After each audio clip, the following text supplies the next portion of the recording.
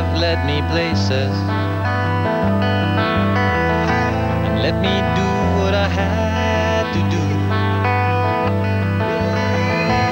But today I'll be where my world began.